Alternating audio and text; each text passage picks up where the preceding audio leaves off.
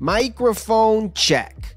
One, two, three. Cheddar Cheez in the place to be. Silver price report coming at you, bringing you the daily price of real, physical, silver. Big shout out to Phantomator. Big shout out to Jason out there. Thanks for watching. Things are moving very, very fast. There are some, it's some stuff happening out here you know, when I'm out here in my daily life, well, I, I was gonna say everything seems normal, but it doesn't. Actually, I just talked to somebody the other day, um, because they shop at a store that I don't shop at, and I asked them, you know, if they noticed anything different, and they did say that uh, shelves are a little bit more, a little bare. You know, maybe, maybe it's one of those things. Maybe the problems that are out there are one of those things that everybody recognizes that but we just don't talk about. Or maybe people think things are going to go back normal. Anyway when i'm out here things seem relatively normal but as you guys know that follow all this stuff. There's some rumblings below the surface. We're going to get into get into some of that today but first we got to do this daily price. This is for march 8th 2022, priced in US dollars.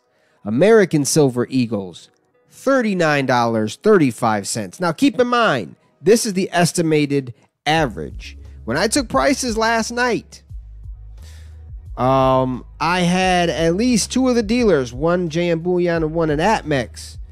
Uh, actually, private metals as well. Um, the nominal price even at 3 p.m. The nominal price touched over 40 bucks. So that them Eagles are getting expensive as hell. Uh, Canadian Maple Leaf, $33.38. Austrian Philharmonic, $32.22. Private Mint, $29.93. Once again, um, I got on here as of 3 p.m. I got two dealers that had um, private rounds uh, under thirty dollars. Uh, your window is is pretty much gone. Unless maybe if you're buying five hundred or more, you can get it under thirty dollars. Uh, but yeah, I haven't taken prices today, but like this might it's probably your last week, if not the last day. So if you're again, like I said yesterday, if you're thinking about pulling the trigger, you might want to do that. Average price $33.86. Spot price $26.48. Premium $7.38. Now, I, forgot to mention this before um before I got into the prices. One of the things that's going to be affecting the price today, making it seem maybe a little higher than maybe what it ought to. Um, Canadian Maple Leafs were out. Let's see. We had four of the seven online dealers uh, at about I took prices at about 5 a.m. yesterday. That was the first prices. Uh, as of 5 a.m. yesterday, uh, those four dealers were completely out of Canadian Maple Leafs. Now, they did restock uh, with APMEX being out um, at 3 p.m. I don't know if APMEX is restocked. So, those four dealers being out, uh, and when I say out, they were out of the 2022 Canadian Maple Leafs. They had the other ones. Uh, but when it comes to the sovereign mints, the government mints, I only track the current year uh, because sometimes the the older coins get a, a, collector's premium, and that's not that's not what I'm looking at. I'm interested in essentially the monetary price of um, of silver because the physical gold and bar market uh, is the monetary demand for silver. So that's going to affect the price a little bit here. And I had to say that to preface this daily change because check this out. The average price is up 98 cents today. Now, that could be due to the fact that I don't have the 2022's Canadian Maple Leafs in there. Uh, but what didn't affect any of that, had anything to do was the spot price going up 68 cents today. Premium up 26 cents for the day. Um, yeah, dude. Uh, I, follow Michael Sayer on Twitter. Uh, he he tracks APMEX sales. Um, he's he's claiming that APMEX sales are going through the roof. I was listening to Wall Street Silver today, uh, their YouTube, um, and Jim Lewis, who's one of the hosts on there, mentioned that he is calling people around, calling uh, different dealers uh, seeing what their inventory is, and everybody is reporting that they are extremely, extremely swamped. Um, we might be looking at the next wave of silver squeeze here. Um, going down. Now we're gonna see we're gonna see what happens to this average and things uh, since some supply came in. Uh, but like I said, these prices, they're dude. I mean, these averages, the, the increases on these averages uh, in the spot, like these daily changes, the increases on these daily changes, we're in the tens of cents. This average ju- price jump, 98 cents. I don't think we've seen that since freaking uh, Silver Squeeze last year. I don't think we've seen a, a gain in the spot price like this since then either. We're in the tens of cents. If you guys that have been following this show for a while, you know when these spot price things go up, it's always like two cents, one cent, three cents, maybe maybe ten cents, maybe ten cents. What have we been seeing lately? 20 cents, 30 cents, 70 cents increase on these things. Uh, so things are moving. Th- things are moving. Um, spot chart here. Nominal price at midnight, $26.35. You can see we touched 27 very, very briefly during the New York hours there. Uh, looks like a little bit of a sell off here in the early morning hours as I record this. Um, but let's get into one more thing. This is not the end. I said we got a we got a big topic. I said yesterday we're going to talk about uh, shadow banking and commodities. We're to do just that. I'm to do a different format. I'm to do this tab format. It's just a lot easier for me to talk about it this way than um, doing the slideshow. So let's start with a, a brief background. I think we, I talked about this a little bit last year. I'm not sure. I talk about so much crap, I freaking lose track of it all. Uh, I'll be losing track of my predictions and stuff. Man, I look sometimes I have an idea and I'd be like, well, wait a minute. Last week I said this. Maybe I shouldn't be changing my mind so quick. Uh, but anyway, so we're talking about shadow banking a little bit, commodities. So what is shadow banking? Brief definition here. This is from Investopedia. Just so you guys know, it's I, am just not some. well, I am a dude just on the freaking internet, but I ain't just making this crap up, pulling it out of my ass. Um, what is the shadow banking system? The shadow banking system is a group of financial intermediaries which facilitate the creation of credit across the global financial system. You can think of them as basically middlemen that exist between the lender and the borrower. Between the lender and the borrower, you have what basically we'll just say insurance companies um, that are helping again to facilitate um, these loans. You can find a paper at the Federal Reserve I'll try to find it. Look look in the description below. It might be there. Uh, depends if I find it while poking around. Um, it's by Zoltan Pozsar, who we'll be talking about here in a brief second. Zoltan Pozsar used to work for the Fed. Wrote uh, a paper on shadow banking. Easy to read. It's really really easy to read. Uh, the diagram though is extremely hard to follow because he maps it out. Uh, but one of the things he mentions is there's I want to say about at least six other entities uh, that serve as these middlemen uh, between the lender and the borrower. And there's a good chance that some of these entities, some of these insurance companies have rehypothecated the collateral. What is rehypothecation? Rehypothecation is a practice whereby banks and brokers use for their own purpose assets that have been posted as collateral by their clients. So something like I put up silver as collateral, get a loan, uh, then the bank uh, will take that silver and use it for whatever financial purposes they need to use it for. So we have basically right there two, we have one pile of assets um, and two people using the same thing. It's, it's essentially a fractional system. That's what it sounds like to me. There's a great video by George Gammon on this topic of um, of uh, rehypothecation and shadow banking. I think it's called In the Shadows. I'm gonna look look in the description below. I'm gonna try to find that too and put it in the a link in the description. Um, but it, to me, it sounds like more basically a roundabout method of credit expansion. It sounds essentially like fractional reserve banking that happens outside of the traditional banking system. That's what it sounds like to me. So now that we've laid out that little bit of groundwork, let me turn to the Zero Hedge article here by Zoltan Pozsar, the guy who wrote the book uh, about shadow banking. Basically, articles called Pozsar. We could be looking at the early stages of a classic liquidity crisis. Uh, this will also be in the description below. You guys can go through, read the full article article yourself. I only want to focus on two different parts. This part right here. Uh, my bad, I got something in my eye. But how was he absolutely right if the funding squeeze he predicted did not materialize? Well, as Zoltan explains in the bulk of his note, what is happening right now is something that nobody really understands, and what is yet to happen may be a combination of the worst parts of the 2008, 2018, and 2020 crises. As a result of one thing, the collapse of commodity based collateral, something China understands very well after it learned on more than one occasion that its thousands of tons of its commodity stockpile, especially copper and aluminum, had been rehypothecated, used as collateral repeatedly. Now we know what's going on.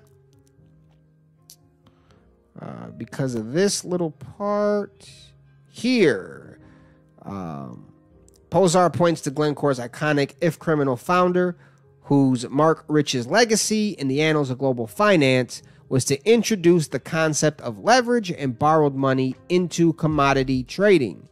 It's simple. A bank lends you the money to lease ships and buy commodities to deliver them sometime in some place in the future at a locked in price via short futures. So it sounds, and I, am suspecting that again, that the, the commodities are being put up as collateral. Now, this paper goes on to mostly talk about things on the financial side uh, I'm not gonna talk about the financial side. I'm gonna spit. What I'm gonna be doing, I'm gonna be spitballing a little bit here. I'm just, I'm gonna, I'm gonna plant a seed in your guys' brain to think about. You guys take the idea, run with it. What I want to talk about is more on the side of the actual delivery of the materials themselves. Now, I'm sure on the financial side, uh, Pozsar is correct. I found this interesting. One of China's largest banks fails to pay margin call after today's monster nickel squeeze. We talked briefly, briefly about the nickel squeeze yesterday. Here's the from the article. One of China's big four banks was given additional time by the London Metals Exchange to pay hundreds of millions of dollars of margin calls. It missed Monday amid an unprecedented spike in nickel prices. And again, what Pozsar is talking about here is basically the the shock that's being caused by these sanctions and the ability of people to uh, pay their debts. Basically, this is really much how I understand it. But again, I don't want to talk about that. I want to talk about actual delivery of the materials themselves. Because we're seeing uh, Joe Biden today for the for the U.S. put um, put a ban on the import of Russian oil, and I believe that Russia has responded with its own export bans. Though I don't know what um, what their what their what specific materials they're pertaining to. Uh, but and then one of the I, I, didn't talk about it. I should have pulled up the freaking article. I didn't think about it. Uh, the largest um, producer of nickel in the world is located in Russia as well. I thought that was um, important. So what I'm what I'm a spitball here, and the issue that might be arising if Russia and Ukraine are large material exporters, and we're focused on Russia here more than Ukraine. These are large material exporters, and sanctions are being placed either from within or from outside of Russia on the ability to transport these materials. How are people going to source those materials? So there's two questions, and I think what Pozsar is getting at is more on the side of, well, I mean, I got nickel. I got some nickel that's supposed to be coming out of Russia. I can't get it no more, and I owe a bunch of people freaking money, and I can't move this nickel around. I got to go somewhere else to to to to source it. Now, again, what I want to look at is, you know, not the financial side. I can't pay because I'm not getting my nickel delivery. I'm looking at more at getting the delivery itself, like not being able to produce and manufacture stuff, and what that does to the price of commodities. Because I suspect that the sanctions or fear of further sanctions is sending industries on a mad scramble to source other materials. And this is going to create a stress on the system. And again, if if commodities are being used, they're being rehypothecated. So we got one pile of copper and we got five people, five factories claiming that it's there. We got five factories and 10 banks, 15 insurance companies, all claiming they own one pile of copper. Not everybody's going to be able to get it. Not everybody's going to be able to get it. Who doesn't get their supply. And I think this is some of what's going on. This is a tweet here from Javier Blas. Uh, he's an energy and commodities columnist at Bloomberg. Once again, this is not, you know, this this this ain't the tinfoil hat alien conspiracy crap that you know I'd be following. This is this is legit mainstream stuff. All right. The London Metal Exchange has introduced emergency measures in the aluminum, cobalt, lead, nickel, tin, and zinc markets. Among them, the LME has set limits on the nearest term spread and allowances for holders of some short positions to avoid delivery to avoid delivery of metal. Avoid delivery of metal. That's important. And I bet it's because you don't have the metal. Keep in mind, London Metal Exchange last year, they shut down copper trading because they ran out of freaking copper. They were running low. Notice they also mentioned aluminum. Uh, fears of an aluminum shortage have been talked about here for quite a while. So they don't have enough. There ain't enough to go around. There ain't enough to go around. What's that to do to prices? Probably shoot the mugs to the freaking moon. I, I shouldn't even say probably. We know what's happening because we see it with wheat. We see it with, with nickel right now. Shooting those prices to the moon. It's gonna it, it's gonna hit all your manufactured goods, and this affects silver because, as you guys know, hopefully you can see this up here, uh, upper right corner. Uh, paper to silver ratio, 364 contracts out there for every one ounce of um, of silver that's out there. Uh, now, keep in mind the number of paper silver ounces traded on the major world silver exchanges divided by the actual world production of silver. So this is based on the, uh, I suspect, uh, yearly production of silver that doesn't pertain uh, the total amount of silver that's that's out there. And there's only about three, as of 2019, three and a half billion ounces of monetary silver that's that's coins and bars out there. rest of it gets consumed um, in industry. So and, and also keep in mind. Oh, I didn't. I forgot to click that part. Oops, my bad. Right here. This is from Investopedia as well. Fourth largest silver producing nation in the world is Russia. Russia, twice as large as the United States, produced the fourth largest amount of silver in 2019. Russia's silver production remained stable from 2018 to 2019, producing 2,000 metric tons in 2019. The total silver deposits of Russia are estimated at 45,000 metric tons. So if people need a source, if this is happening right here, LME is shutting down trading on aluminum, cobalt, lead, nickel, and a lot of this crap is coming out of Russia. Excuse me. What happens to these 364 extra contracts? And I think, and, and if these, this is the way I understand it, each one of these contracts represents 5,000 ounces. Let's do some quick. So there's there's an extra. Let's just let's just assume let's assume a lot of things. Let's assume this pertains to total supply out there. 364, just for sake of argument. 364 times. Bro, there's about these foods about a million, uh, damn near two million ounces short. One one million eight hundred twenty thousand ounces. That's damn near two million ounces short. Two million ounces short. Somebody ain't getting their stuff.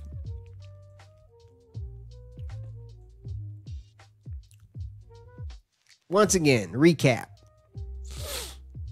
There's a great likelihood that uh, the world's resources are rehypothecated. Matter of fact, it's probably damn near certain. I should have. I forgot to pull this up too. I should have pulled up. Um, Visual Capitalist has a great, um, uh, some great graphics on the derivatives market. Um, derivatives, the estimated dollar value of the derivatives market on the upper end is four quadrillion, or is it or one quadrillion? Because quad is four. Maybe it's four quadrillions. I have no clue. I don't even know how that's mathematically possible. But it's a lot.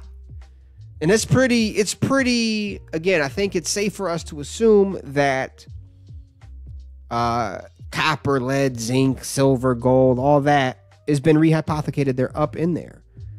They're they're part of those contracts which can't be covered. And if Russia's shutting down, they're not exporting this crap. People got to sort it from somewhere.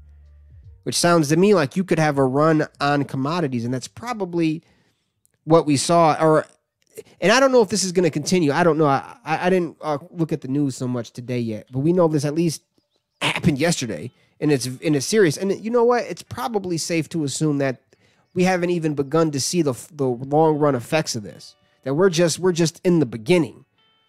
Because look, these fools can't pay. I don't even know if they paid yet. Who is this? Who is this?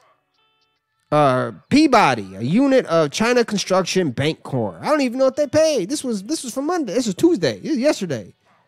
These fools still got what they got. Additional time? How, many, how much additional time? Another week? These fools can't pay. We're just in the beginning. So yeah, basically, again, let me recap my recap.